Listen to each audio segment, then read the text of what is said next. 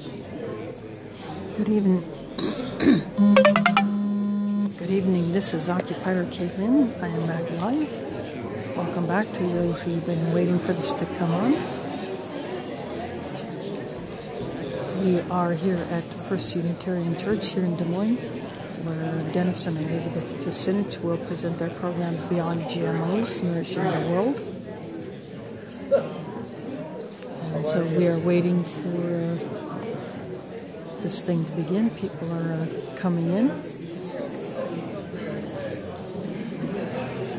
And the banner that you see above the podium is one that we actually had made last year.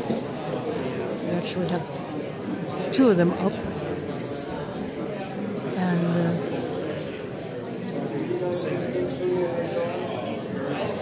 then the sign on the front is one of the first ones that we had made.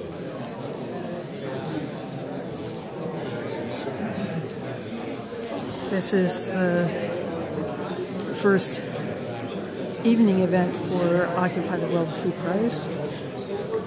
Tomorrow will be the Food Sovereignty Alliance Food Sovereignty Prize Award ceremony. That will be at the Historical Building in the auditorium tomorrow at 7 o'clock Central. And I will be broadcasting that live, hopefully. I haven't yet had a chance to get in there to uh, check signal quality, but I'll get there early enough that I can do that before the event starts. And if I cannot get a good stream, then I will simply record it and then upload it to YouTube later and to my live stream channel.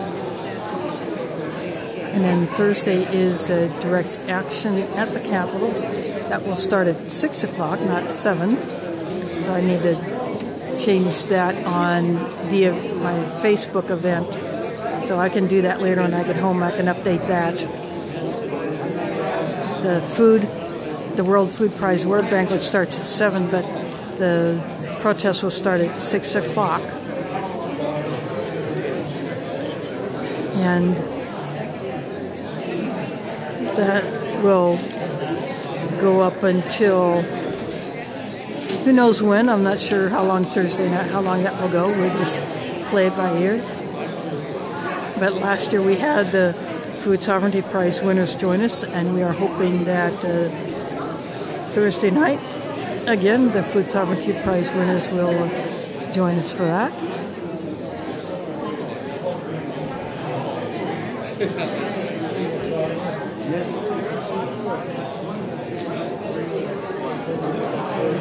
Hello.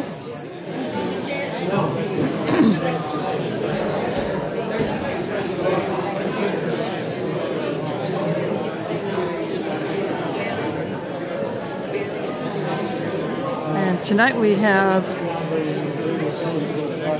a musician joining us.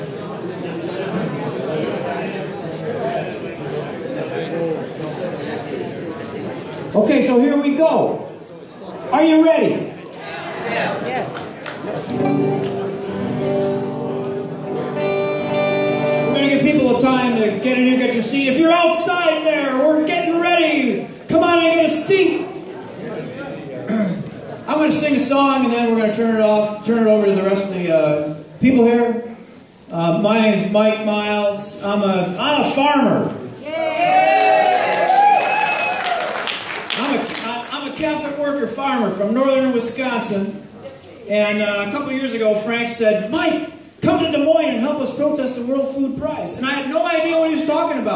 That, made, that was language that made no sense to me whatsoever. So uh, last year I came down and I went, oh, cow, you got to be kidding me. This is what? So uh, we're, we're glad that we're, here tonight. We're glad that this alternative view is building, that a, a venue has been created to get some more discussion going on out there.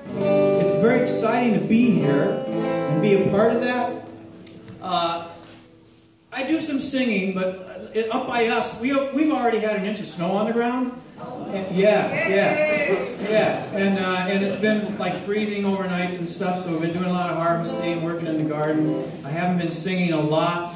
Uh, I'm going to do the best I can. I sang in the car on the way down here today for five hours, so uh, hopefully I remember the words. Uh, this song here uh, is one of my favorite folk songs of all time. It's by a guy named Jack Hardy, uh, who died. Uh, so I keep a song going. It's one of the best folk songs ever. I ran for Congress twice uh, with the Green Party, and this was my this was my campaign song. So I used to like bust with my guitar case down on the ground, and I'd be places, and I'd, I'd feed the guitar case, and, and, and, um, and that's how I made money for my campaign. It was great fun. So, so I, I hope I remember all. of There's way, way too many words in this song. Uh, I'll see what happens.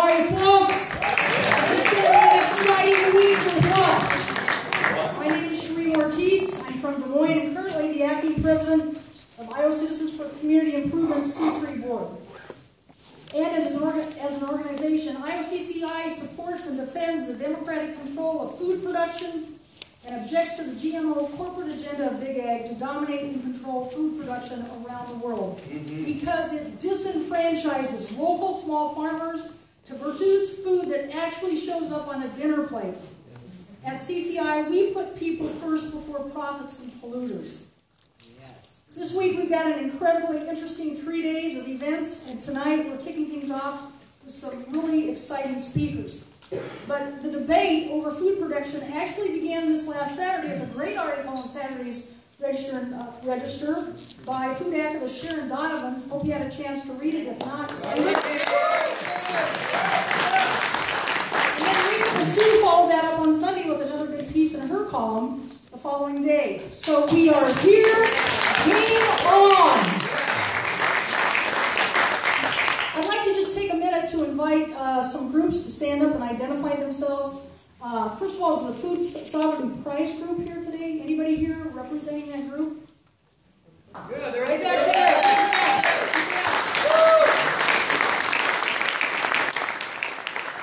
And we'll be giving awards two. Is there any representatives here from the Union of Agricultural Work Committees of Palestine by any chance? They may not be here yet. Or the Community Community Development of Bellingham, Washington. Okay, well, they will be um, awarded those awards tomorrow night. And so I hope that you can come to that event too. I want to just give a, a general overview of tonight and what is happening Wednesday and Thursday. Tonight, we'll be hearing from our own Des Moines Mayor, Mr. Frank Cownie. Greg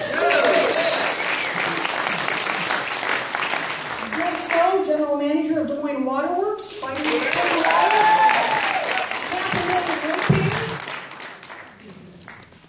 We'll also be hearing from Jess Mazour, a lead activist and organizer for Iowa CCI. Wish you all could in action today at a, at a review, uh, we we're at a uh, Rules Review Committee meeting at the Iowa Legislature and seen her kick some butt. Oh, yeah. Uh, also, you'll be hearing from Frank, Frank Cordaro, who is the inspiration, heart, and soul and spokesperson for Occupy the World Food Prize. And of course, the distinguished and admired Elizabeth and Dennis Kucinich.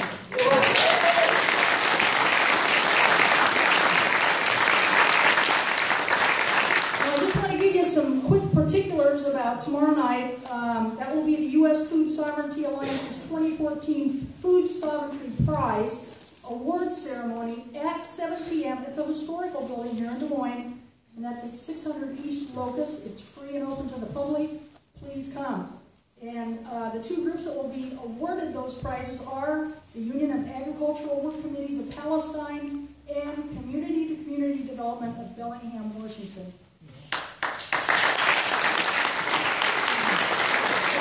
These awards will indeed be the perfect antidote to that other thing going on there, that corporate ag World Food Prize. Um, on Thursday, there will be the Occupy World Food Prize rally and direct action at 6 p.m. at the state capitol. Will you be meeting at the West Step, Steps, Frank? Right. on the west steps. Um, and so that's going to be another event that you'll want to be sure and, and be a part of. Uh, it's going to lift the veil of deceit and expose the corporate ownership of what the other World Food Prize event uh, has to own the world food systems. The featured speaker will be Keith McHenry, co-founder of Food Not Bombs. And that rally and direct action will coincide with the World Food Prize ceremony. So be sure to attend these events as those guests and speakers speak truth to power.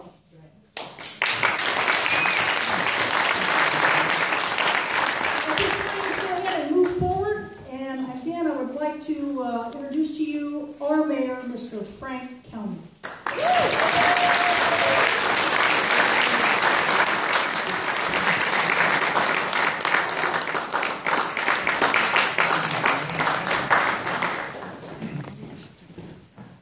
Well, it's quite an honor for me to be here tonight to uh, speak to a a bunch of old friends, I think.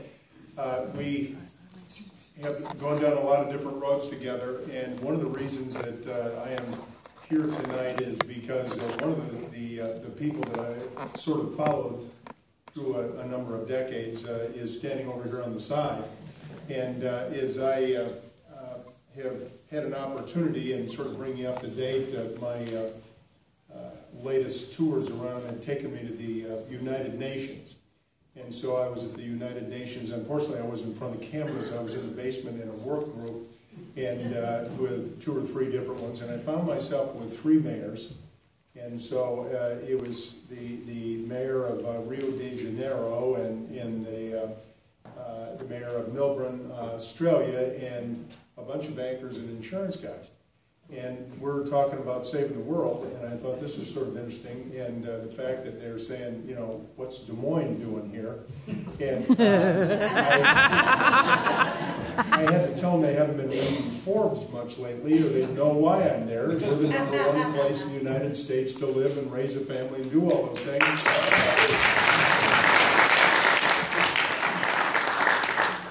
But most importantly, uh, you know, there's so many concerned citizens that are worried not just about what's going on today, but what's going on for the next generation. What about our kids? What about our grandkids? What about our great-grandkids? And oh, by the way, as the Native Americans would say, how about the seventh generation and beyond uh, ahead of us?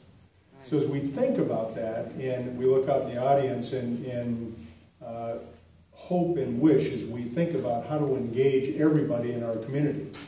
Uh, young people, old people, rich people, poor people, black people, white people, males, females, everybody needs to, to step up and be part of this discussion.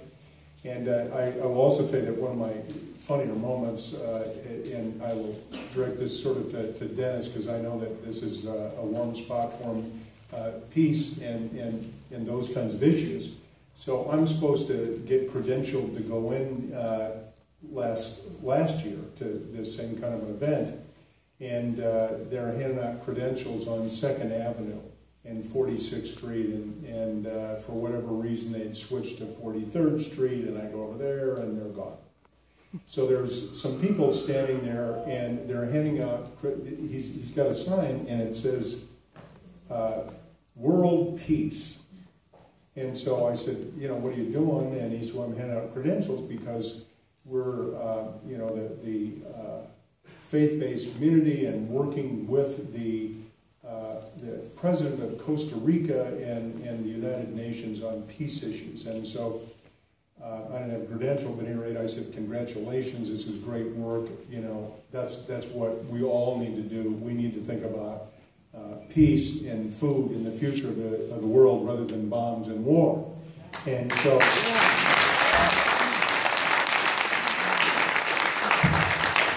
I said, you know what? I said, I'm glad to see you guys working on this. I said, I'm, I'm uh, a member of the uh, World Mayors for Peace. he says, really? He said, where are you from? Des Moines, Iowa. And he says, really? He said, "Here's a credential. Come on in with me." So I go into the world peace deal, and I was there for climate and, and those kinds of issues.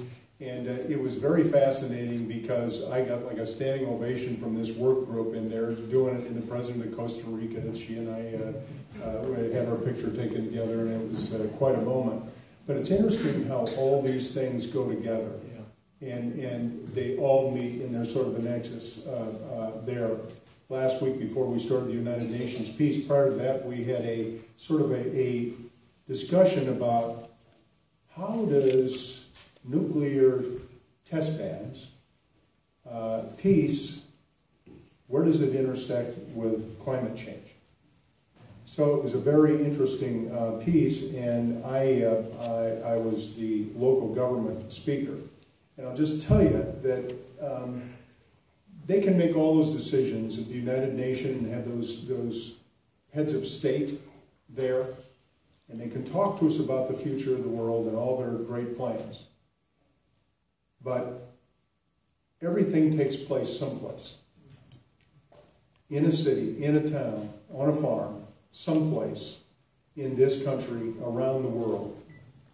And they need to have local government, people, in those negotiations as they talk about the future of the planet. Because if they bring us in later, they have no idea what our capabilities are, And uh, I think that, that all of us need to rise up and have our voices so that Washington understands, so that New York understands, United Nations understand that the issues that we're talking about, about the future of water, the future of food, the future of our families, the future of this country, and as we think about Iowa, those of us that, that have spent our lives right here, and uh, I know you're going to hear uh, about a little bit about water. My friend Mr. Stowe and I uh, travel around and sometimes in the same circles. And it's uh, interesting to, to listen to folks talk about it. And my grandfather uh, and my mother came off the farm up by Boone. And my grandfather used to tell me about the soil, and we're just stewards. We're just here for a little bit of time. And we ought to be building soil, we ought to be building the future, and it's about how we do it. And he had all these stories. We'd sit in the dirt and he'd play and plant, we'd do carrots, and we had a garden, a big garden, we raised corn, all kinds of stuff. But the important thing was, is he was thinking about the future. It wasn't about the next 12 months. It wasn't about how much money I'm going to make off of it. It's about how do we do it now and how are we going to do it 100 years from now. And all of us, as we think about it, and you look at what's happened, and Iowa State's done a lot of studies on some of this stuff. And when they tell us that over the last 40 years we've eroded 50% of our topsoil doing what we've been doing, I'm thinking, what are we telling our kids and our grandkids and our great grandkids? That we're going to be out of the farming business? Hello? Let's, let's have our voices, let's, let's get out there. But uh, um, I, I, it, it, I'm very proud to be here tonight and uh, to be um, at least sort of a, a, a voice prior to uh, Dennis and Elizabeth. And I did get to hear Elizabeth earlier, and she really is feisty gal and uh, is is out there. And her husband's a, a little feisty himself. As a matter of fact, he was so feisty that, that in 1978, when I was trying to figure out what I was going to do with my life, this guy was the mayor of Cleveland. You know? And uh, um, I got to tell you that that he may talk about that or he may not, but it's an interesting position because you can't hide in your own hometown. You see people on the street, you see them in your place of business, you see them in the grocery store, you see them at church, you see them at City Hall. They call you in the middle of the night. My phone number's in the phone book, so you can call me. And people are amazed that, that we actually do that, and because some places around the world, why mayors and elected officials drive around in armored cars or something. But uh, I, I enjoy talking to our, our, our citizens. I enjoy talking about the future, and I've got to tell you, what do our people really want? They want food, they want shelter, they want a job, they want a good education, and they want opportunity and they want it for themselves and they want it for their families. And so I'm going to be excited tonight because I know that Dennis Kucinich and Elizabeth, but Dennis especially, since he sat in my, my chair, he knows that, that we have uh, spent a lot of time serving uh, with literally government in your face. And uh, it, it, is, it, is a, it is a moment where you, you can't back down. You can't say, I'll call you next week or next month or we're going to vote on that next September. Citizens at the local level want an answer right now. If there's a pothole in the street, it needs to be fixed by tomorrow morning. If there's a problem with a sidewalk, it needs to be fixed. If the sewer needs to be fixed, we're out there to try to do it. So, to all of you, thank you for everything that you're doing. Let's preserve this planet, this earth, this Iowa, this Des Moines for our future generations. And I look forward to the other speakers this evening and look forward to, to Dennis and Elizabeth. Thank you.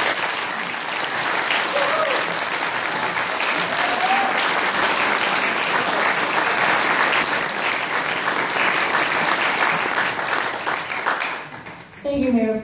Our next speaker will be Bill Stowe, General Manager of Des Moines Waterworks. And I can't tell you what an inspirational guy he is. How many cities have a uh, general manager of the waterworks who is inspirational? This guy is phenomenal.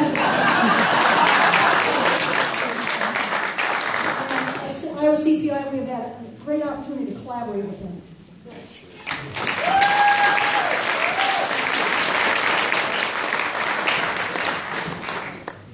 Frank has told me to be short. Both Franks have told me to be short. I will be short. Farm Bureau Conventioners. Oh, that's right, that's the speech I'll never get to make.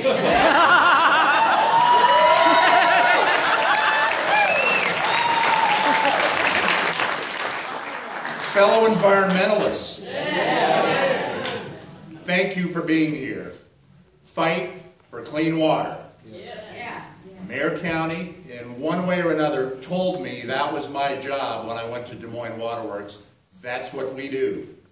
We bring water to 500,000 Iowans, drinking water to 500,000 Iowans that comes out of the Des Moines Raccoon River. Industrial agriculture makes that an extraordinarily difficult job. Yes, Yep. Chemical fertilizers, CAFOs, yes. 21 million hogs in a state that has 3 million people. Do the math. Does that seem wrong to you? Oh, yeah. Let's forget about the glow of feeding the world. Yes. And remember that hypoxia isn't just something in the Gulf of Mexico. Our waters here are dead.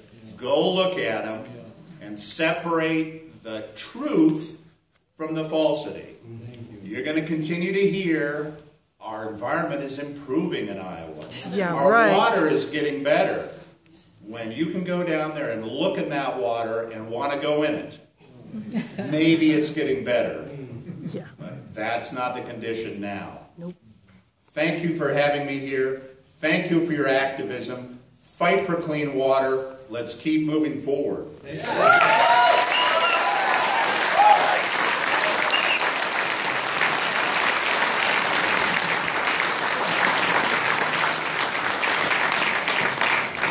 Next, we're going to hear from Jess Mazour, CCI activist and organizer. Yeah. And uh, she's going to give a CCI update. And, you know, I've had the privilege of working with this fearless, young justice fighter. And all I can say is watch out, corporate big ag. She's got your number. She's on your trail or tail, whichever comes first. On their hog tail. Hello, how's everyone doing today? Well, I'm Jess Mazour. I'm a farm environment organizer at Iowa CCI, and I'm here to tell you about two exciting events that we have coming up. Um, first one, I have a question for you. Who here thinks 725 is okay for Iowa? Oh, heck no. All right, good. I don't think so either. Um, last week I took the minimum wage challenge, trying to live on $77 for the week for after housing expenses. Well, I would have failed if I calculated in my car payment, my student loans, my credit cards, and my internet and TV. But if I didn't factor those in, I had, just on food and gas, I had about $5 left. That means if I wanted to pay my car registration, it'd take me 35 weeks to save up for it. If I wanted to spend $35 on Christmas presents, it would have taken me uh, three weeks to save up for that. Seven weeks to save up for that. If I wanted to put $15,000 down on a house, it would take me 51 years. That's not right. We're putting our we're putting a lot of people in a lot of hard spots. Second question here: Who's really scared that Joni Ernst is going to win this election? I'm really scared.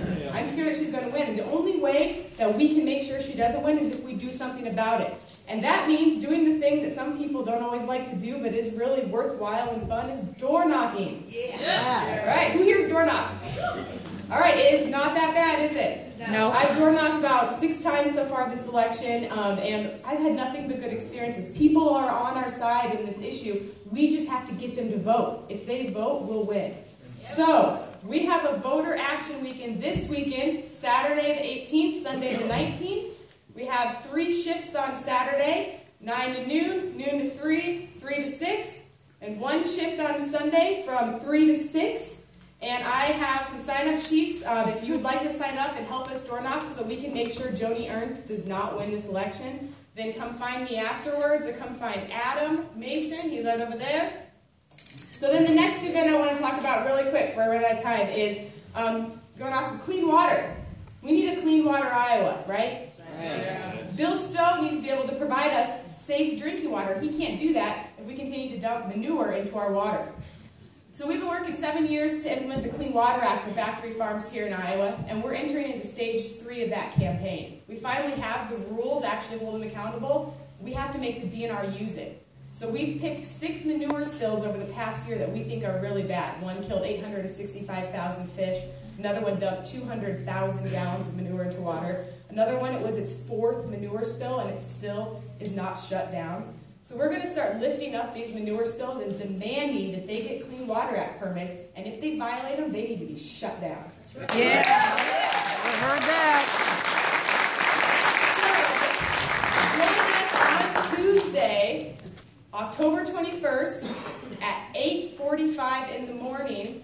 We'll be done around 11.30 or noon at the CCI office if you'd like to join us. And the Voter Action Weekend also at the CCI office. Please join us. So Saturday, Sunday, and Tuesday, there's big things going on to improve our community. Thank you. Right.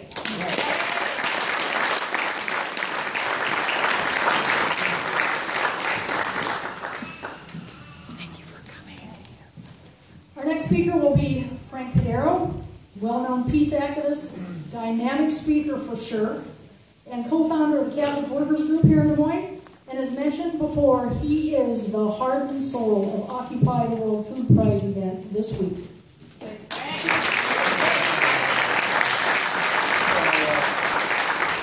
I have two uh, tasks. I'm to uh, give a report on Occupy the World Food Prize and introduce uh, Dennis and Elizabeth. Uh, we're in our third year of Occupy the World Food Prize.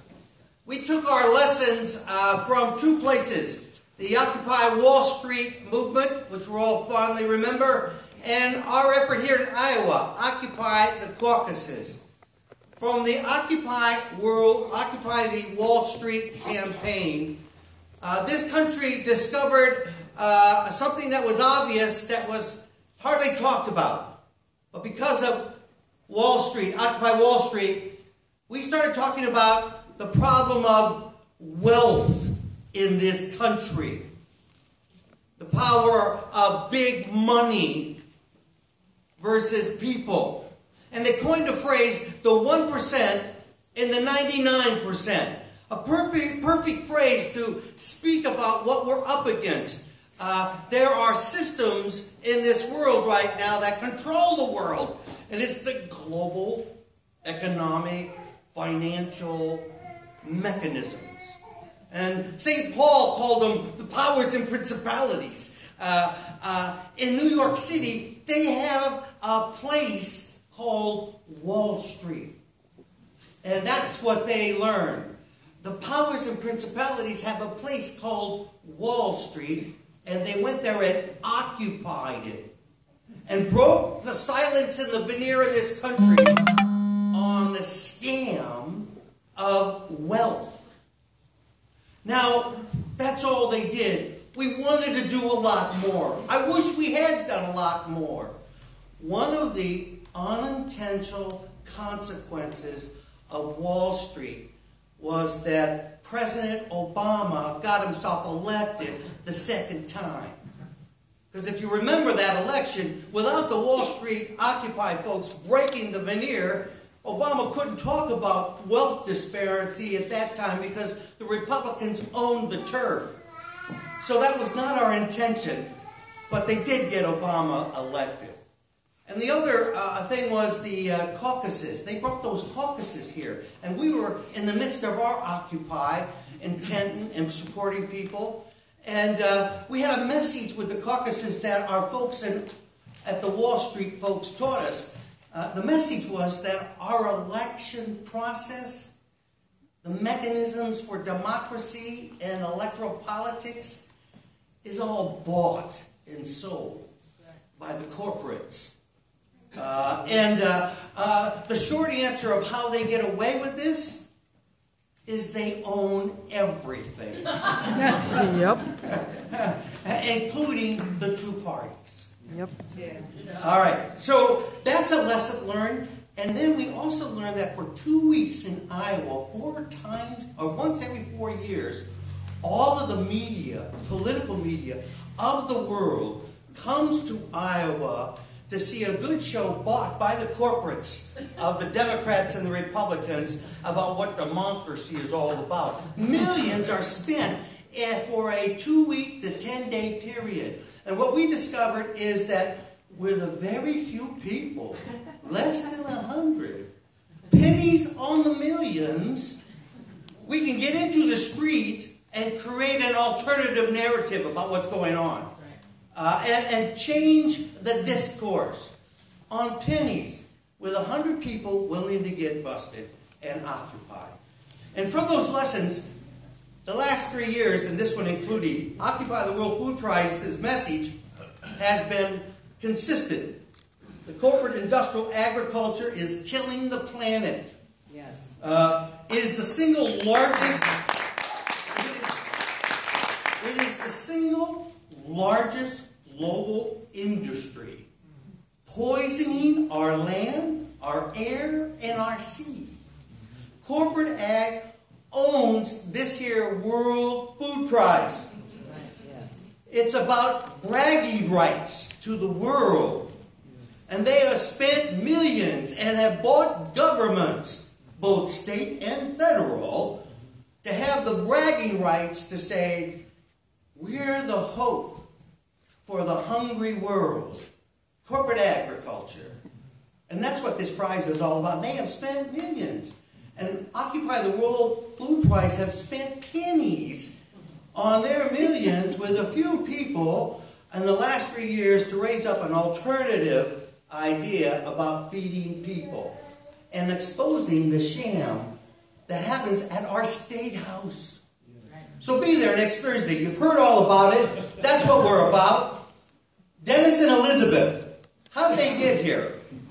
Well, the way it happened by my narrative and memory, Sharon got an email from Elizabeth saying, you know, my husband would like to talk at the Occupy World Food Prize event. Sharon was very excited. She called me. I heard it. I was kind of disappointed. He's a politician. Uh, I'm a Catholic worker. We've been anarchists since the 30s. Uh, Occupy World Food Prize is anti-establishment. Uh, and, uh, uh, and but this is this is why I, this is my take on Dennis and, and his past life. Um, I'm, I'm a functioning anarchist. Uh, I take my lead from uh, Ammon Hennacy, a great Catholic worker in the 50s and the 60s, who, who said that loyalty to the people always, loyalty to the government when it deserves it.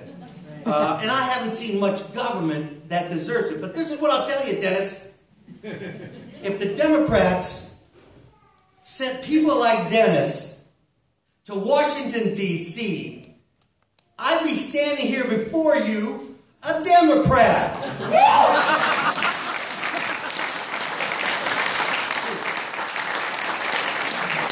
No, no, no.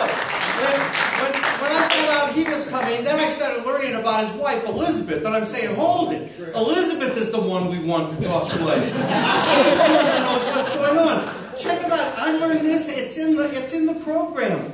She's the director of policy at the Center of Food Safety. And she was a producer of the film GMO OMG, a critically acclaimed documentary about GMOs. She's on the board and policy committee of the chair of the Rodale Institute. Uh, she's at the Center of Food Safety. She works to defend organic agriculture from the biotech industry through legal challenges. Uh, her crowd has successfully prevented at least seven potentially hazardous GE crops, including biopharmaceutical crops, from being commercialized. Uh, this crowd has been a key advocate for GE food labeling uh, at both the state and the federal level. Uh, in, addition, in addition to the GMO OMG movie, Elizabeth is the producer of the documentary film Hot Water and an advisor of the ground operations battlefields of farm fields and the new groundbreaking PBS TV series Food Forward TV. This lady knows what's going on and she's been involved in the fight. So, uh,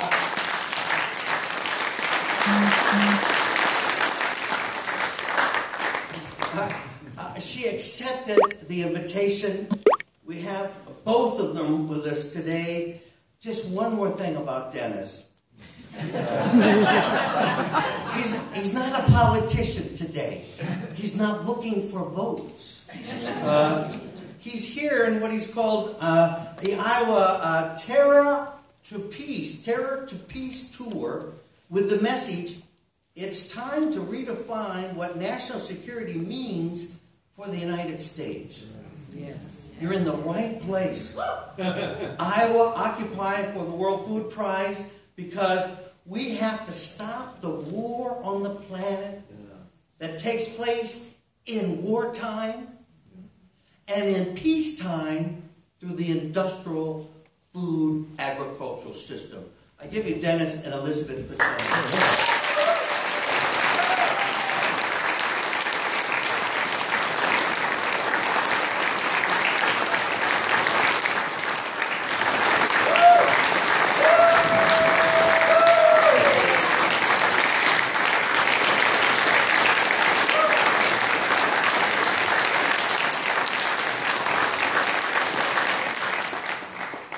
Thank you, and uh, thank you all for being here. I can't tell you how impressed, honoured, and humbled I am to be standing in front of you. And Mayor Cownie, thank you so much for your remarks. And Bill, I'm so thrilled you're here. You were one of the one of the people I really wanted to meet when I came to Des Moines. So I'm very thankful that you're in the audience.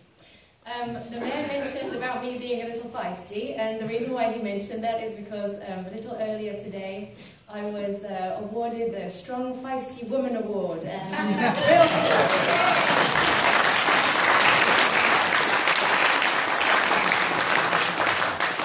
And uh, I want to tell you just a little bit about me so to contextualize this conversation. As I mentioned when I received this fabulous award, um, I was just blown over when I saw the title, like, finally, Dennis has a title for me that fits in our marriage.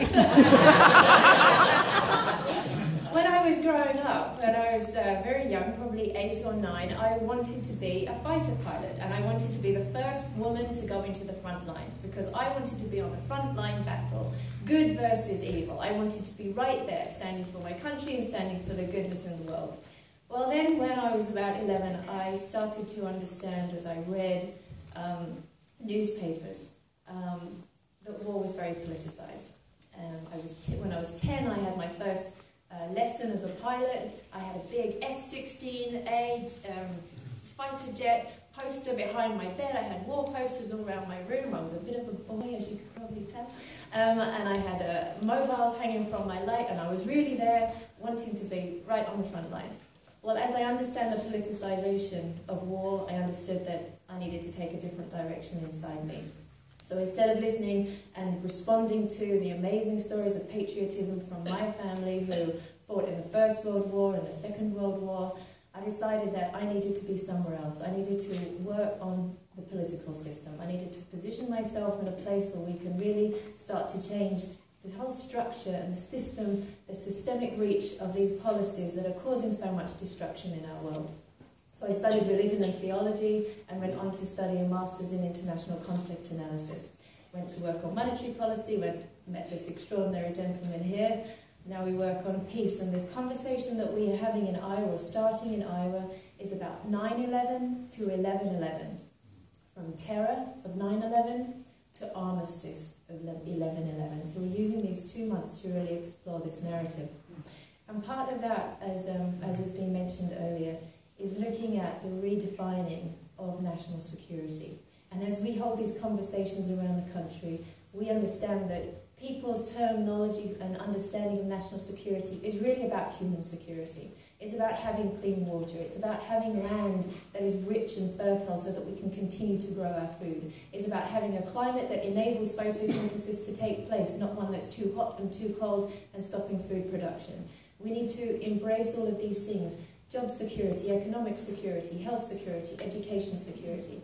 And for me, food is right at the centre of this. So the title of what I want to bring to you this evening is really looking at the world beyond GMOs and nourishing the planet and nourishing the world and reversing climate change through regenerative organic agriculture. And this is what we can do.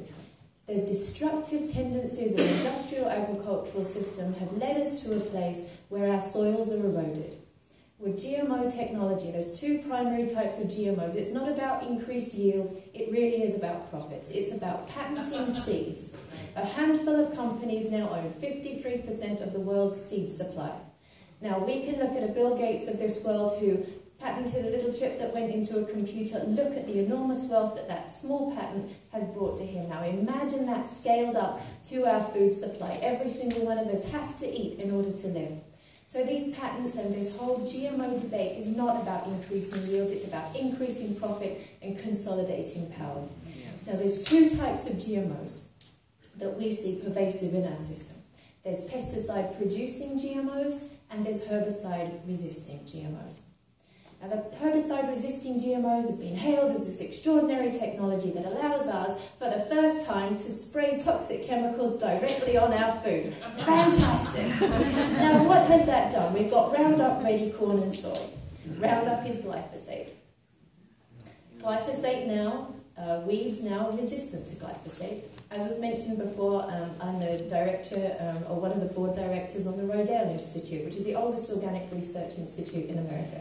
And what we've done over the last 30 odd years is a farm systems trial where we grow conventional next to organic, and for the last handful of years we've been growing GMO test plots as well to see yield, to see soil health, to look at water retention, all different kinds of issues. Now, when we started to grow GMOs, it was obviously a very contentious thing for us to, to choose to do, but we need to remain relevant in our research and really see what's happening to our fields. Now, growing Roundup ready, glyphosate resistant crops means that you, for the first time, have been able to spray herbicide directly onto a crop. So a plant will grow, and this herbicide will hope, well, the farmers hope, will kill all of the weeds around it so that this, this plant can grow. Well, with, after three years, we found that actually weeds were becoming resistant to glyphosate. And so we had to start using something else. We have a glyphosate, and then we have to mix in atrazine. So we're using glyphosate and atrazine on our fields after three years. After another couple of years, more resistant weeds to glyphosate and atrazine now having to use 2,4-D. 2,4-D is half of the component of Agent Orange. Who knows about Agent Orange? Yes. Good thing? nasty stuff. Not really. High in dioxins, awful chemical. Dennis and I spoke last night in um, Cedar Rapids, and we were at a veterans hall. And as we were talking about redefining national security, a veteran came up to me afterwards, a veteran of the Vietnam War. And he said to me, Elizabeth, you have to do something about 2,4-D. You've got to work on these on these so-called Agent Orange crops because the way that the um, the industry now is understanding that that they're putting out the figures, 80 million acres of American cropland is now blighted with herbicide-resistant weeds. so we have these super weeds all over our land. And that's causing an issue to food security because if you've got weeds growing that you can't get rid of, then what are we actually going to be growing our food in? Instead of just weeds, you can't eat them.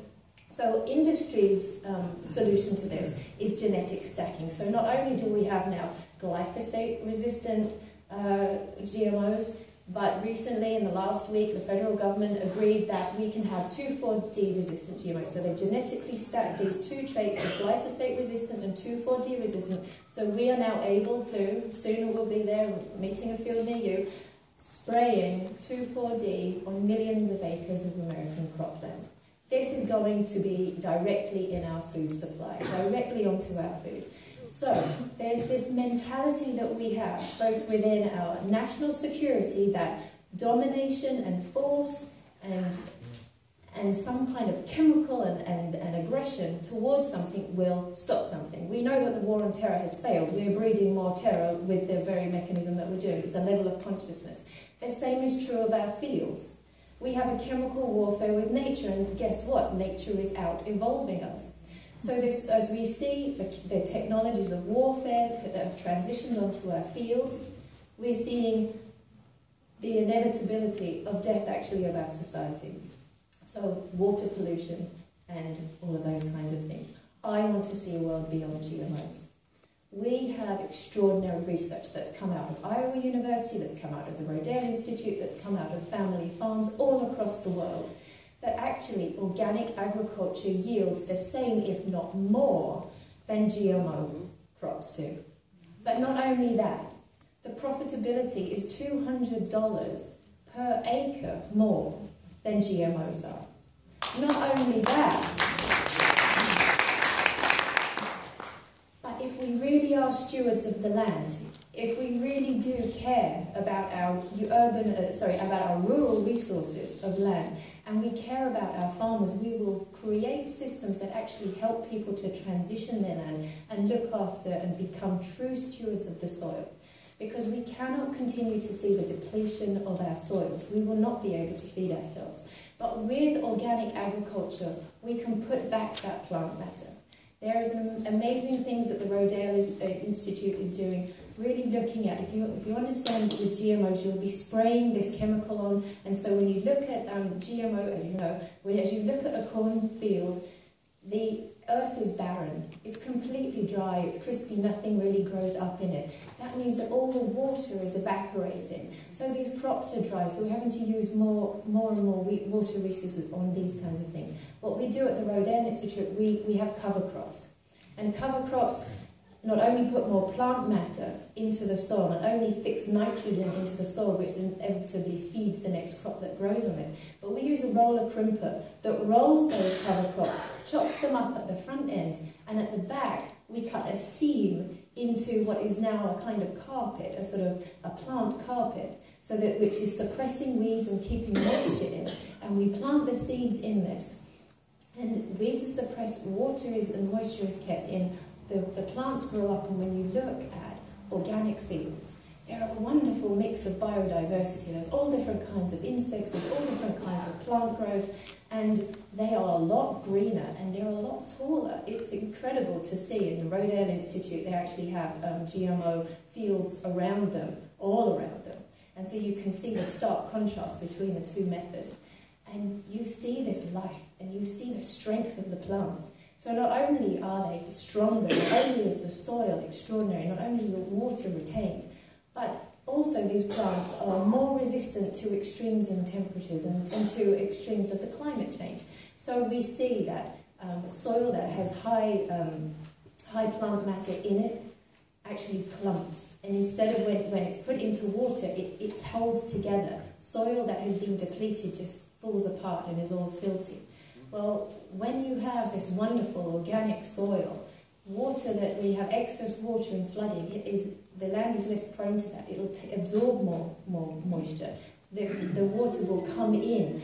Roots will be longer, and so plants then, in times of drought, will have more of an opportunity to uh, to live and also to thrive. So we've got this amazing thing, but also because of these methods, because of healthy soil, because of the opportunity to have cover crops, when we look at regenerative organic agriculture methods, the, all the land, all around us, all agricultural land, your gardens, anything that, that is around us, can actually become carbon sinks.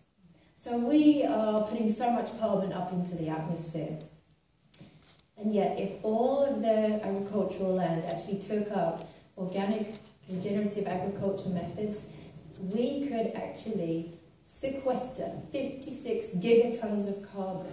It's all that we throw up there we can bring back down. So instead of having, as we do now with the depletion of our land, soil actually being a carbon pump, putting greenhouse gases into the atmosphere, it can be the most effective sink. It can start pulling it down. So this is the potential for agriculture. You are right on the front line. I am so glad I'm not in a plane flying overhead in some poor, God forsake country. I am here with you. We will do this together. You are in the most extraordinary position as Iowans to really turn this debate. That when those candidates come through, that you really stand up and you let them know exactly what you feel as Iowans and you vote exactly for what you want. And I am so thrilled to be here in Des Moines with you leaders who are standing for the issues on the right side of the issues. As I was when Dennis and I were in Cedar Rapids yesterday, I can't believe the leadership that's already in local government, and I'm so thankful to be with you today.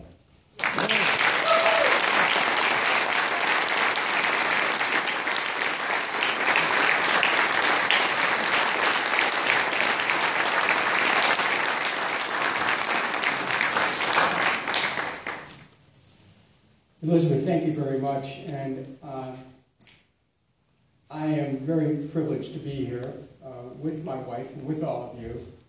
And uh, you've heard Elizabeth speak, and uh, you can understand that as we go around Iowa, uh, that she is having an impact with her knowledge of agriculture.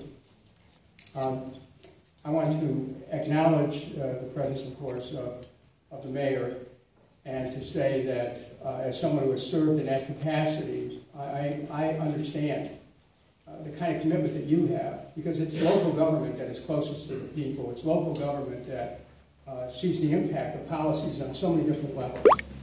And it's local government, because of its closeness to the people, that has the path towards resolving a lot of the problems that exist at a state and a national level. So uh, I would ask all of you to join me in, in showing appreciation for uh, the service of the Honorable Mayor uh, to this great community.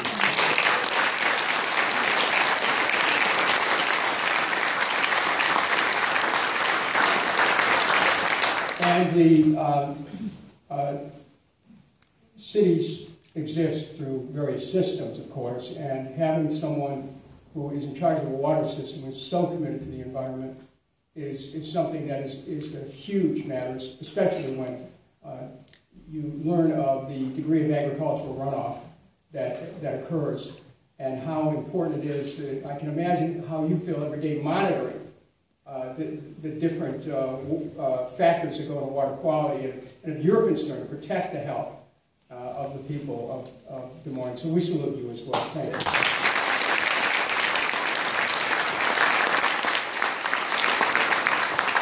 Uh, Frank Cordaro, I can tell you that I understand the uh, uh, misgivings that you've had about having someone who's been in politics appear before a citizens. Uh, my, my own approach to politics actually is, has come out of the Catholic worker movement. My, uh, Dorothy Day is someone who has, whose life has had a profound impact on my own. And uh, having been a benefit of a, of a parochial education, and, and, and had the opportunity to really focus on the principles, the spiritual principles that, that motivate service to people.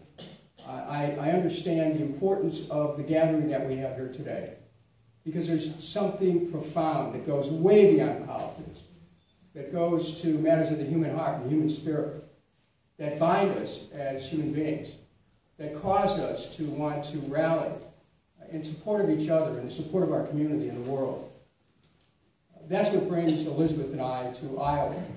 That's what brought us to um, Iowa City and Cedar Rapids as part of an effort to start a whole new national conversation on what constitutes national security. And what we heard from the people of Iowa City and the people of Cedar Rapids, and from some people in Des Moines at an earlier meeting, is that the people of Iowa see national security in a way that is different than what Washington is expressing.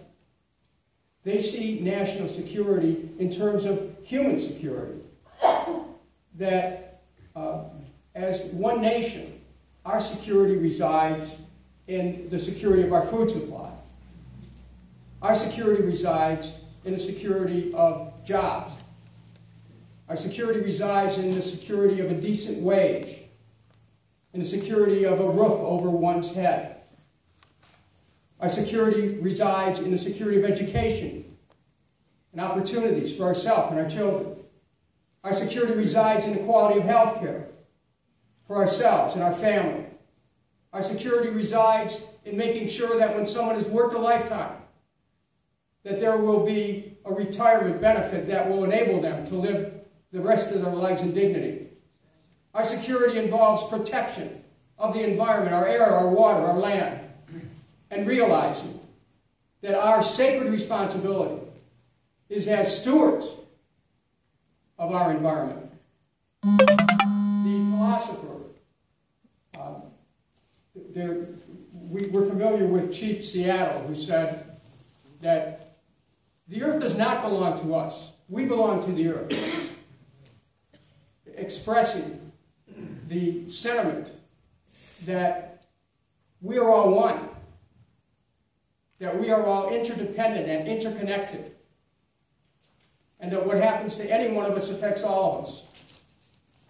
And that, and that acting from that awareness, acting from that oneness, we work to bring about the restoration of our environment, the repair of our environment, the regeneration of our agricultural system. We're essentially commanded to make peace with our brother, brothers and sisters and also to make peace with the rest of the world.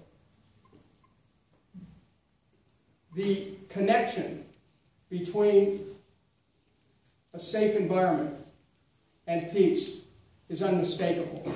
The connection between our economic rights and peace is unmistakable. Today, we celebrate the birth, 124 years ago, of a president who may not have been so heralded when he served, but whose words and sentiments continue to echo more strongly through the years. And that is today is the birthday of President Dwight David Eisenhower. I want to read to you something that he said. Well, he, we're all familiar with what he said about the military industrial complex and about its influence in matters of state.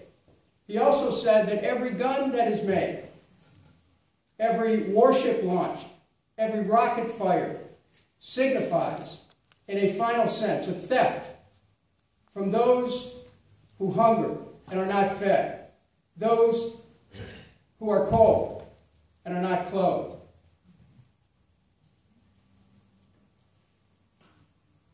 If you enlarge that message in a, in a spiritual sense, it brings you back to Matthew 25. When I was hungry, did you feed me? When I was naked, did you clothe me? Whatever you do for these, the least of the brethren, you do for a spiritual mission. We have gotten away from that. We've gotten away from a spiritual understanding of, the, of this interconnectivity. We've gotten away from the promise of, of America and its first motto, E pluribus unum, out of many we are one. It wasn't just about the unity of the states or the colonies, it was about human unity. And so your presence here helps to reconfirm some basic values that are so important to Americans. Values that are signified uh, in a legend right below this auditorium that talks about trustworthiness, about responsibility, about respect, about values that have to do with the preservation of our nation.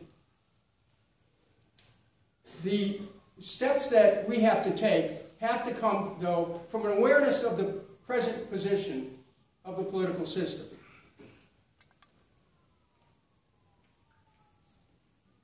As mayor, I remember the responsibility I had to save the city's municipal electric system when corporations tried to force me to sell it. And so I'm not, I wasn't naive when I got to Congress. But what I learned in the federal government is that when people say, you know, local government I know can work, but people will say, oh, Washington doesn't work. Well, it does work. The question is, who's it working for? Yeah. That's right. And I, received an object lesson early on when I saw corporate interests try to declare that sludge was organic. Yeah, right. And with help from many people in this room and people across America, we were able to rouse the American public to say, look, they're trying to change the nature of, of organic to, to basically include the poisons that are in sludge. And the public beat that back. And then the next thing that happened, in 1999, I was driving uh, to Washington from Cleveland, and I heard a report on the radio about a study of monarch butterflies that had fed on milkweed that was contaminated by, uh, uh, by uh, GMO, and that there was a high degree of, of mortality among these butterflies. And it got me thinking, wait a minute, if this is what happens to butterflies, what could be the effect on other organisms, including human beings, and other species, including human beings?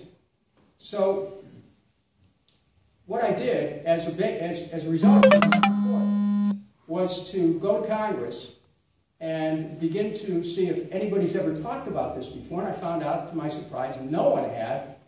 And I dug a little bit deeper, and I, it occurred to me that with so many millions of acres of genetically modified uh, crops that had already been planted, I wondered how did this happen?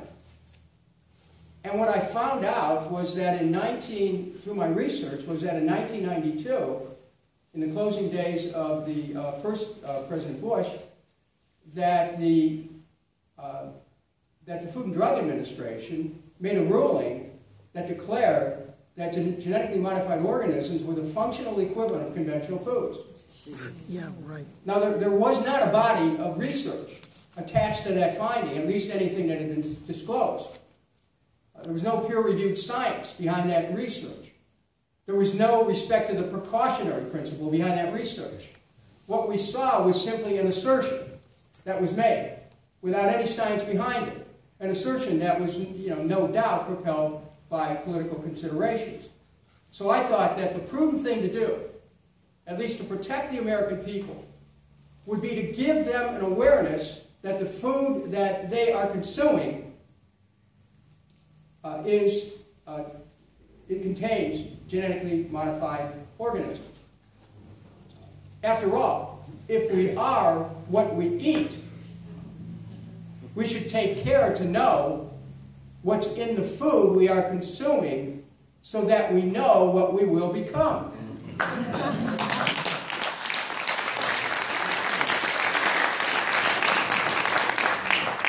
And so I drafted legislation for the purpose, for the first time uh, anywhere, drafted legislation to label all genetically modified organisms that are in food, to label them as GMOs. And I, I thought that this legislation would be, since polls had already been taken that showed that 90% of the American people at least were prepared to support labeling, I thought this should be easy. Well, I was still new at the time. And what I, what I found out, though, as soon as the legislation was introduced, uh, Monsanto and, and, and their lobbyists began to contact uh, certain leaders in Congress. And having a few dozen sponsors to the bill didn't mean anything because the leadership had already been told we're not going anywhere with this legislation, despite the fact that the American people, at least 90%, wanted labeling of genetically modified organisms. I introduced a companion piece of legislation that said this that all genetically modified foods should be evaluated for allergenicity, toxicity, functional characteristics, and, and, and other uh, matters, and so that we could at least observe the precautionary principle before the proliferation of these GMOs. Once again, uh, the, the industry came in, lo- lobbied Congress, and blocked even so much as a hearing. I introduced another piece of legislation that said that any farmer who's growing organic crops, who has his crops or her crops contaminated by genetically modified organisms, must be indemnified and be able to have a cause of action against the company that made the product and caused the contamination of the organic crops. This was at a time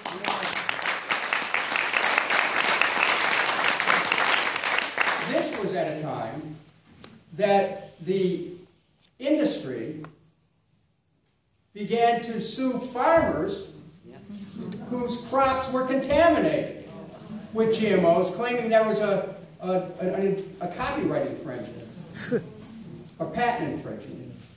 So what we have here is, is you know, represented is a, a condition which requires all of us to stand up and look at the implications that uh, this corporate control of, of agriculture has had. It's really a restriction of our freedom. Yes. And, our, and as Americans, we, we value our freedom. And if we the people means anything, It means that we have to have control over our food supplies and cannot just uh, be fed our genetically engineered veggies and like it. That we have to have the ability to stand up and speak out and to act. What Elizabeth and I have found out in our travels across Iowa already is that the people in Iowa are prepared to change the national discussion. That the people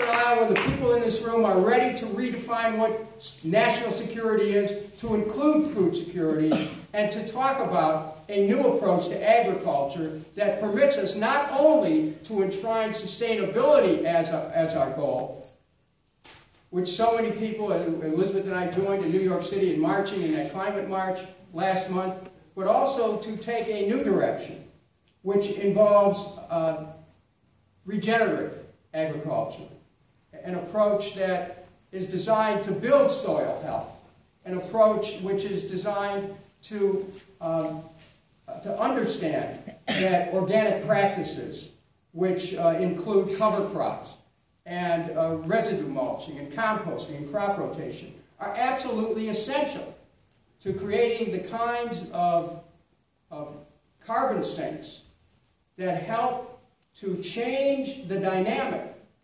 from the increased amount of atmospheric CO2, which industrial agriculture contributes to mightily, to achieving a reconciliation with nature through organic agriculture, which continues uh, to be a path towards a future where the planet itself can survive. Uh, we were told, we have been told by the great philosopher Thomas Berry that the great work of our life should be to establish a reconciliation with the natural world.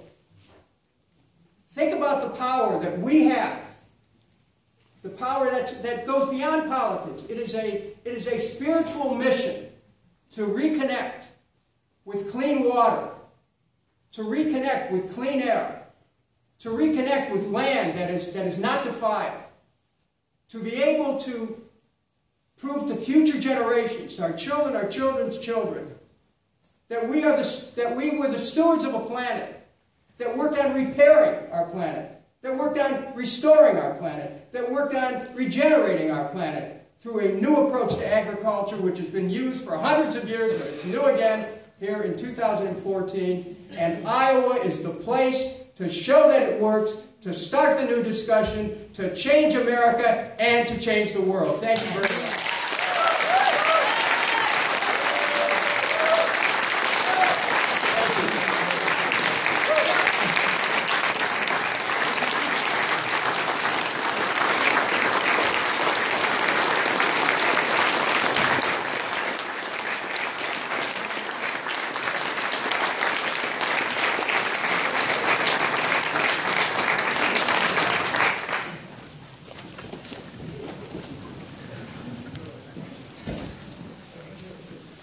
We're going to take a few minutes for you to, for a little Q and A, and uh, please uh, keep your questions focused. Uh, we're not looking for individual commentary. Now, I'm a retired school teacher. I will cut you off. and so, uh, having said that, questions? You, sir, in the aisle. For, for Want to stand up, Elizabeth, Sue? Stand up. for Elizabeth, um, uh, what's, uh, how does uh, vertical farming fit into this? Yeah, the, the question is, if you want to come give your questions and comments up here.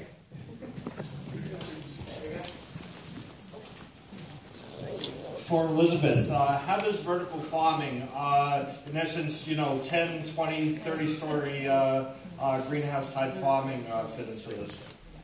Well, vertical farming is uh, an amazing way that we can uh, see food security brought into our urban areas. Uh, so it's a very interesting model. I know that there are a lot of people in DC who are very excited about that.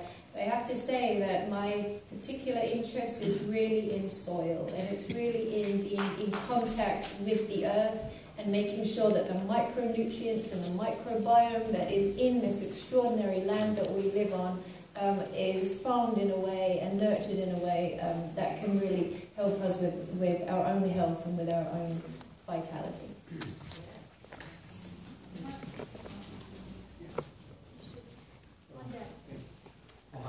I'm uh, Tommy Schmitz. Uh, and I were one of the uh, fortunate five people to uh, walk across the country for Dennis in 2003, 2004, and uh, uh, for uh, his presidential campaign. Also for uh, to promote um, the, the peace, the, the Department of Peace concept, which has gone away, which we still need, and um, but also to uh, remind everybody that in 2003 that we needed to get the heck out of Iraq. It's embarrassing. It's embarrassing after 11 years that. Uh, uh, but at the same time, it was a beautiful experience. My question to you is. my question to you is more of a challenge. Well, first of all, my question is, can I have a ride home? no, teasing. Uh, my question is, is uh, because of your influence, I've become a Catholic worker, a colleague of Frank Cordaro's. And because of your influence, I am a personalist in the true spirit of Peter Maurin. Per- personalist is a deeper, more fundamental level of anarchy. Personalist. My question is a challenge. Have you read Peter Kropotkin, and will you do so in the, within the view that you have right now? Um, I, I have read uh, fairly intensively uh, a number of historians and philosophers from the 20th century uh, who were instrumental in creating change in government at every level in countries around the world, and people who were instrumental in the 18th century, in the 19th and 18th century, uh, which is why I know this. I know that there is a power in this room It is a power of transformation. I know that what brings each person in this room is a, is a journey of life experience that has given you the ability, one time or another, to take a stand that has changed things. When you start catalyzing that, it changes everything. And so I, I, I having been to Iowa since uh, 2000, and the first time in 2003, and, and seeing this process here, Iowa is, is the door to the world on, on, on a whole range of issues, but particularly agriculture. So I, I thank you for uh, asking, you know, what my, my, my reading tastes are quite eclectic. But they're, they're not only matters of, of public policy, they're matters of philosophy, they're, they're spiritual reflection. Because we're not simply uh, flesh and bones. The human spirit means something. The spirit of America means something. And just think, if the, if the spirit of the world which moves is infused with the kind of caring and compassion and love and intention to repair the world, think of the power that we have, just in our awareness, but when we put it into action. That's where I come from, and I appreciate your commitment as well. Thank you very much for the question.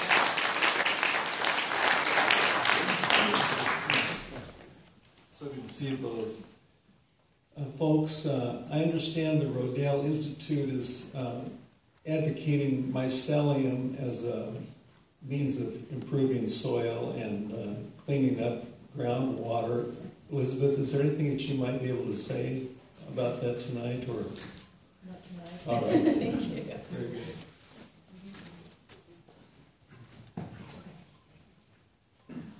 First and foremost, I, I just want to say I've followed not just this aspect, but your kind of your career, and, and uh, as a Iowan that has a, a little three-year-old boy, I want to say thank you very much, just pretty much for all of it, Dennis. And uh, um, I was wondering if you have followed any of the recent, uh, uh, I guess, class action lawsuits going on against Syngenta.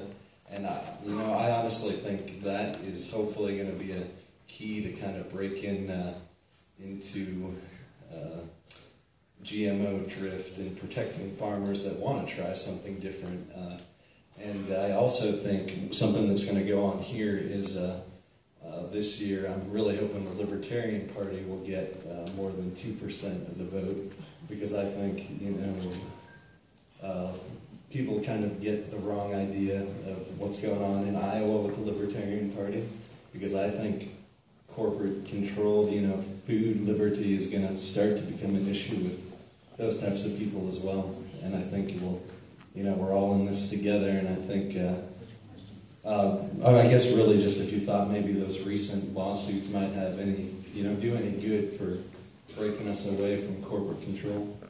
Uh, First of all, there, there's two points you raised. The first one is, yes, it's important to support the farmers who are involved in these lawsuits that es- uh, essentially they're trying to reclaim their right to be able to, to farm, to be able to um, create products that are not uh, contaminated, to be able to have control over their over seed and all those other things. I mean, that is essential to uh, be able to uh, support farmers who right now uh, are, are up against it and trying to survive against the uh, great power of, of, of corporations. So, uh, yes, and again, here in Iowa, it's a place where uh, people understand the struggle that farmers have had, the struggle they've had for parity over the years. When you think about the American economy and how it got into trouble, it got into trouble when the family farms uh, became decimated because those family farmers, those family farmers were making just from all the purchases they made, of all the inputs that went into agriculture, these small businesses around Iowa and around the country were actually generators of the economy. They were powerful generators of the economy. And so you had two things happen. One is the decline of the family farm, and then the rise of the military-industrial complex, which, which wasted trillions of dollars. So if we can change the dynamic and restore the family farm, as Elizabeth's working on to try to help veterans uh, to make some uh, transition into farming, but also to restore the family farm and, and, and flip the equation on this military-industrial complex to start to, to say, look, we, want, we have a right to be secure as a nation. We have a right to national security. But don't tell us our national security is only about bombs, is only about uh, uh, spending all this money. We have a right to start reaching the priorities of our country to talk about human security here at home, and that's what I'm hearing from Iowa, I like that. Now, gentlemen, uh, I saw the teacher moving towards you as you started to talk about a political party. I, I, now I know what this is about. Uh, I, I have to tell you, uh, uh, gentle lady, that when I got up to speak and I saw this is pretty intimidating. Really, this don't get anything I saw in Congress, you know. Uh, but let me say that one of the things that I learned from my approach in Washington, it wasn't it wasn't partisan. I never got to the floor of the House and declared that the truth of the of America was uh, deposited or reposed in one political party. Oh boy, did I know differently than that, and uh, you know, attending my own Democratic caucus.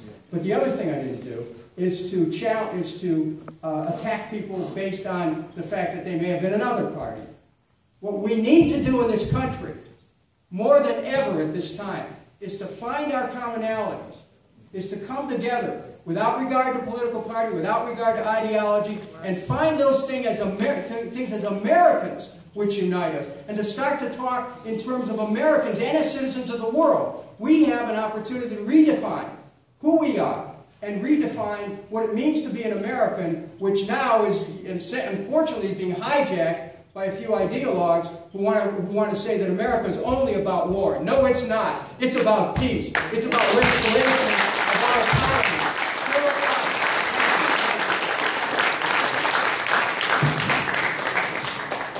Thanks for coming up. I really appreciate it. Everybody really appreciates you being here. I do. And thank you for coming to Iowa as a presidential candidate. You know, influenced me a great deal. Uh, you helped uh, me make a decision to become vegan. My question is, why isn't uh, even Amy Tom or Amy uh, Goodman on uh, Democracy Now?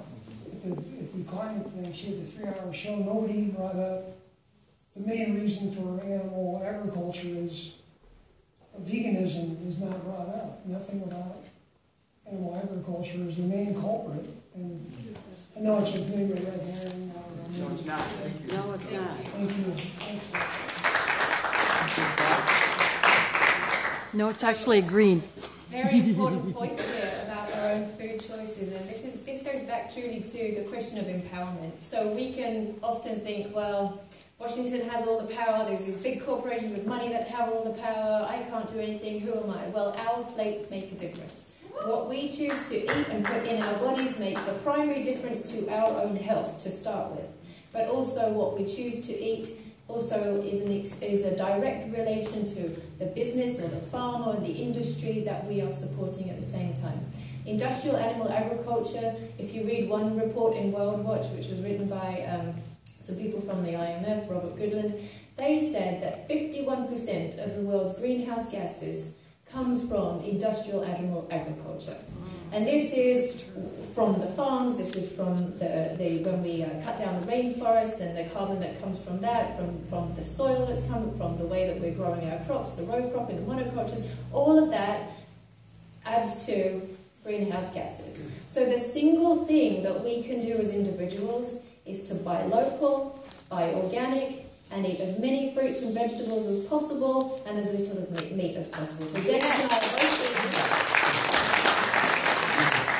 and this is this is really an important issue. But beyond just that, beyond saving the world, we're also looking at our own health. So I used to be the director of policy at no, I wasn't. I was the government affairs director at the Physicians Committee for Responsible Medicine. And PCRM's sole work really is looking at the prevention and reversal of disease through plant-based nutrition. And they've done all of this research into type 2 diabetes, looking at heart, heart disease, all different kinds of, of major illnesses that we are facing in the United States and all around the world now.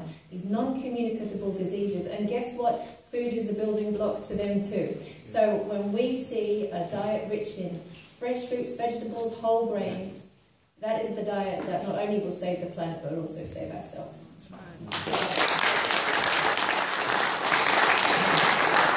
Um, I'd like to add a personal note on that. Uh, From the time I was a child until uh, mid-adulthood, uh, I suffered uh, seriously from Crohn's disease. And uh, at, at age 20, had some pretty serious surgery under a life-threatening condition. And it was in 1995, uh, a friend introduced me to a vegan diet, just happenstance, not because I was searching for some relief. At that point, I was on all kinds of medications to try to control the, the Crohn's and, uh, and antibiotics, and had a, it, life was tough. I, I never missed a day of work or school on account of it, but it was tough. Anybody who knows anyone who's suffered with that or any kind of gastrointestinal illness understands it, it can be pretty difficult. But I changed my diet. I, I, I was introduced to a vegan diet. I changed, I changed my diet, and I started to see within, just within a few weeks, a dramatic change in my own health, in the symptoms that I had dealt with most of my life. It was unbelievable to, to see that you could change your diet and suddenly your health would change. And uh, then, with the, with the help of a little bit of Chinese herbal medicine to rebuild my intestinal flora, I suddenly, the Crohn's went away. And people say that can't happen. It did. I'm telling you, it did. So why am I sharing this with you? I'm sharing this with you for a couple of reasons. First of all, there are some there are some health reasons that people might uh, take to change their diet, and it can lead to full health. Uh, and also uh, the fact that you know the big debate about health care, about the cost of health care. You and I know the government, you know, for better or for worse, cannot give us health care. An insurance company that might pay the bills, private insurance, while charging us an arm and a leg to be covered, they don't give us health care, that we make choices. Since our, our visit to Iowa, and, and a message we want to take across Iowa is about self-empowerment. It's about making choices, our, reclaiming our ability to make choices that can help to make a better life for ourselves. So I found that through my own experience, just kind of stumbled into it, but I wanted to share it with you, to know, just to say that today, you know, I have a blood pressure about 90 over 60. If I get it taken at the hospital, they ask, are you, are you okay? Trust me, I am. I'm stronger than ever. Uh, but, but it was a path, a journey. And, and, it, and I was able to reclaim it by taking a different route. We can reclaim our power as Americans by authenticating our own experience and collectively coming together to say, you know, America could take a different direction and we ought to start thinking about it. Next question.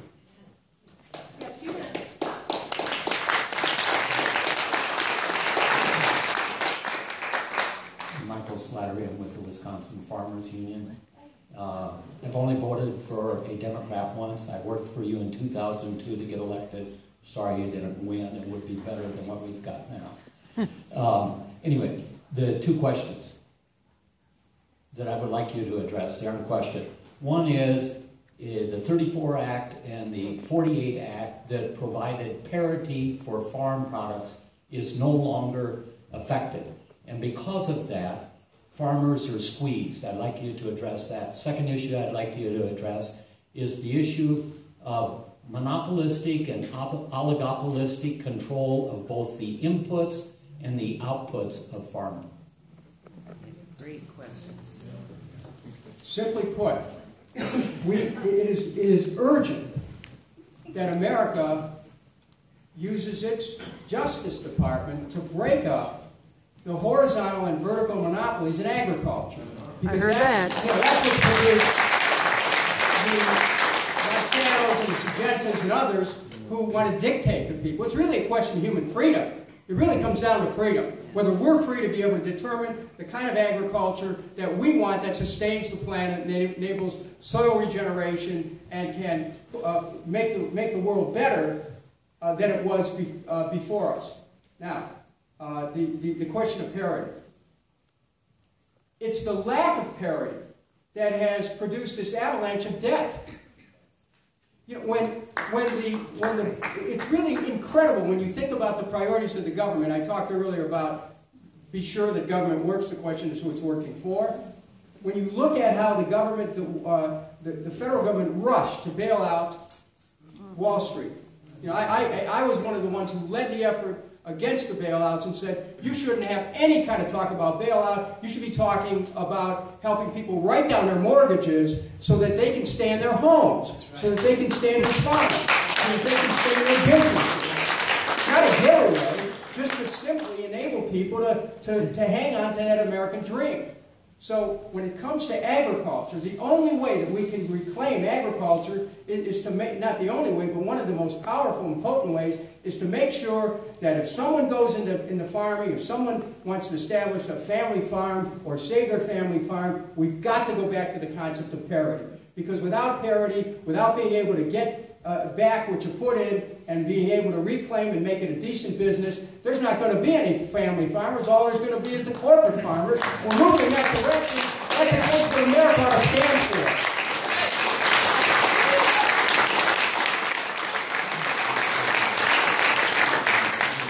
Okay, I'm sorry, but we're at the end of our Q&A.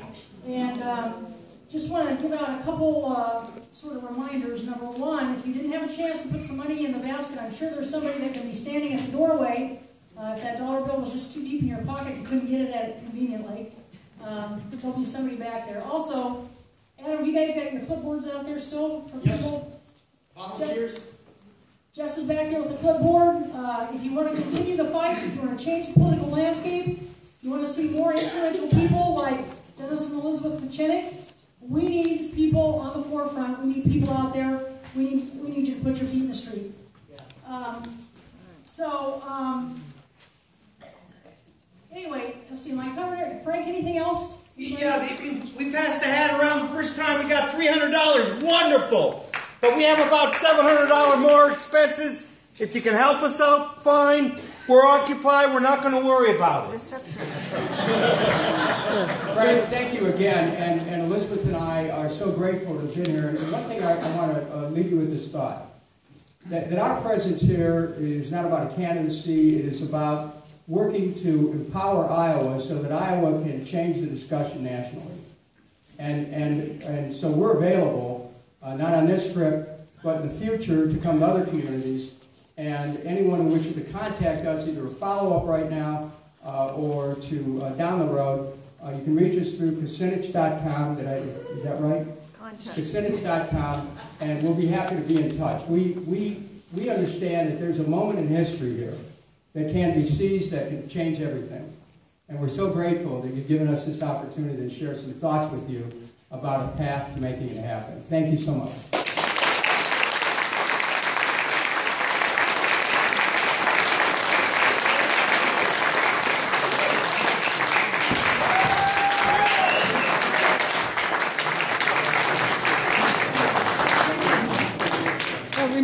reception. One more song. All right, I'm going to sing you out of here. I love coming to Iowa. I've been farming up in Wisconsin for 30 years, but I'm from Boone. Graduated from Iowa State. It's great to be home. Why don't you go up there right now and say something? Oh, just a second.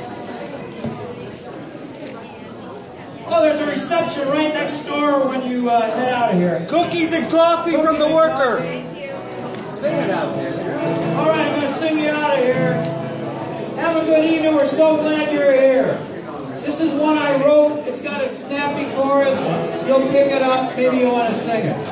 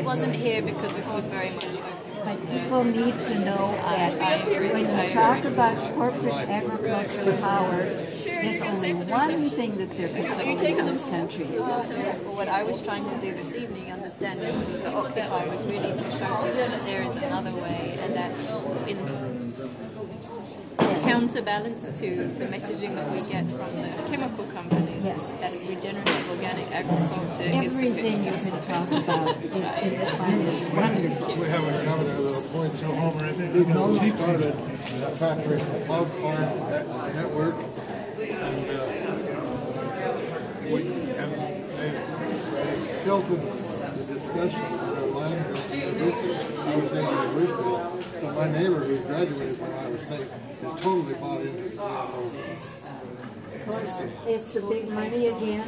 It's ALEC. And Branstad, who I call Brain Dead, is one, he was one of the co-founders of ALEC, American Legislative Exchange And it's Council. all that power of corporations again that he Yep. kept talking about. Oh yeah, yeah. When we can, uh, when we can send ALEC down to Crapper, Yes. that'll be a happy day.